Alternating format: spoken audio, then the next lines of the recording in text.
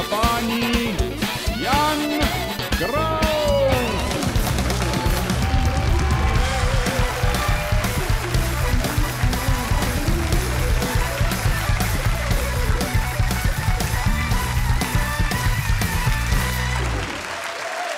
Děkuji určitě. Děkuji určitě. Děkuji úctivě, dámy a pánové, dobrý večer. Já dneska musím začít trochu jinak, protože tady dneska budeme končit trochu jinak.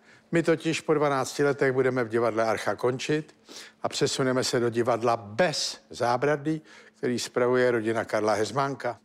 Ale chtěl bych tady poděkovat všem, co s námi spolupracovali, divadle Archa, všem, kteří jste sem za náma přišli, protože bez vás neexistujeme.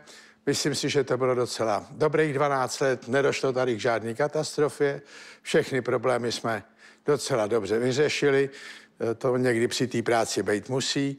A doufám, že se divadlo Archa bude dařit i po tom, co my je opustíme. A doufám, že nám se bude dařit v divadle bez zábradlí společně s rodinou Karla Hezmánka. A na vás se těšíme nejvíc, protože vy jste nejdůležitější. Předprodej a všechno zůstává stejný, jenom adresa trochu jinde. Takže ještě jednou děkuji všem, divadle Archa i vám.